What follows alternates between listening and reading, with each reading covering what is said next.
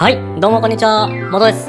本日はですね、ポケモンカード151に目が行くと思いますが、現状での V ユニ価格はどうなっているの？と思ったので調べてみました。少し長くなると思うので、前編後編に分けたいと思います。あくまで購入は自己責任でよろしくお願いします。1枚目はグレイシア V スター SAR です。メルカリでの高値では6000円での取引がありました。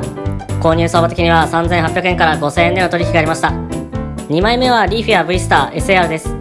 高値では7500円での取引がありました。購入相場的には4000円から5400円での取引がありました。3枚目はミュウツー V スター SAR です。高値では約4900円での取引がありました。購入相場的には3800円から4800円での取引がありました。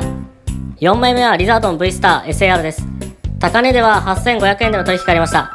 購入相場的には7000円から8300円での取引がありました。5枚目はナタネの活気 SAR です。高値では8000円での取引がありました。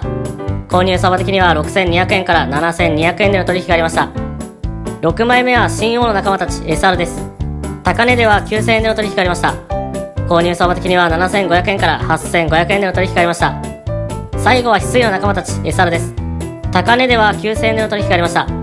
購入相場的には7800円から8600円での取引がありました。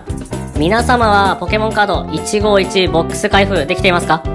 私は抽選がことごとく外れたので、他の YouTuber さんの開封を見て羨ましく思っております。私も YouTube 頑張って、皆様の何かしらの手助けになれるように頑張っていきますので、よろしければチャンネル登録、高評価、よろしくお願いします。また、後編の投稿もしていきますので、そちらもご視聴ください。ここまでご視聴ありがとうございました。